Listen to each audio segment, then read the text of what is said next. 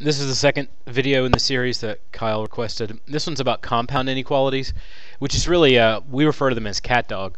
So in these, we have two inequalities set up because of the nature. Uh, there's a inequality here and an inequality here. Now, just like in a cat dog situation, I'm going to keep that middle part because that's the body of cat dog. And then I'm just going to show one with one head on the left side and one with the other head. So I'm going to do keep the whole middle when you do this one too. In fact, it might be easier to start out by writing the middle down twice. That might make it easier. So from here, I'm just solving simple equations. Uh, minus 7 uh, gives me negative, um, I don't know why I wrote a 1 there. It should be 20, negative 24. Now, I'm dividing by a um, positive here, so I don't have to flip the inequality over. So r is greater than or equal to negative 3. And I, I know that it's greater than or equal to because I'm reading it from the variable side. On the other one,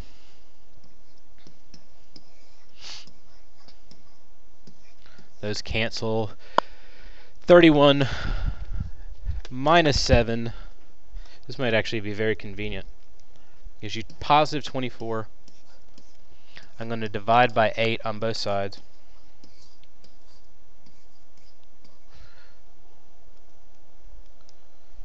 So it worked out that I just happened to get uh, negative 3 and positive 3. So at my uh, negative 3, I'm going to go up and make a circle. I'm going to fill it in because it's uh, greater than equal to, and it goes this way.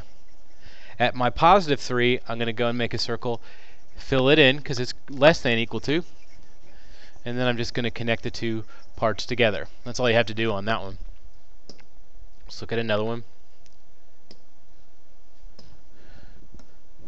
This one is the same type of thing. There's two inequalities here. So I'm going to keep this part. Sorry. For some reason my uh, pen's not taking. There we go. I'm going to keep this part where I can use it. In fact, it might be easier for me if I just wrote that down twice.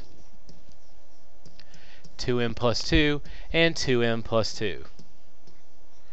And I'm going to write down one end, and then I'll go down and write down the other end. From here, I'm just solving equations. So I have times 2, so I divide. m is greater than um, negative 6. This is a positive 2 I'm dividing by, so I don't need to flip that thing over. Bring down negative 2 and divide by 2 here. There's the line I forgot to draw. Uh, negative 2 divided by positive 2 gives you negative 1 and this stays as less than or equal to. So I've got m is greater than negative 6, but less than or equal to negative 1. By the way, all of these so far that I've done have made barbells, but that doesn't necessarily mean that they'll stay that. They're always that way.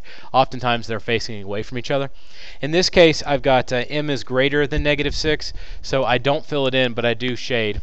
And the other one is less than or equal to negative 1. Well, I can fill this right in, and then go down and shade it in nicely. So that's all that you really have to do to follow it through. Um, should be able to solve them this way. Just in case you need to see it, one like the next one on this section, this is just two different problems, but you end up solving it and making one graph. That's why the or's there. So in one case, I'm just solving this equation. And the equations don't really crisscross all that much. Usually if it's an or question, you'll tend to get that uh, arrows go away from each other thing that we've been kind of trying to avoid in the last few problems for some reason. Now you want to divide by negative 10. I am dividing by a negative here, so I do need to flip over this inequality. On the flip side, you want to add 8. You get negative 9 divide by positive 9, and x is less than or equal to negative 1. I'm going to make a circle at negative 1. I'm going to make another one at positive 6. They're both filled because they have this line underneath the inequality. So that means equal to also, so you include that in there. And like I said, the negative 1 is um, less than negative 1, so it goes towards the smaller numbers. And the 6 goes up towards the bigger numbers. So that should mark out what you're looking for. So I hope that the video is helpful and you can now find an easier way to solve these problems without beating yourself up over it so much.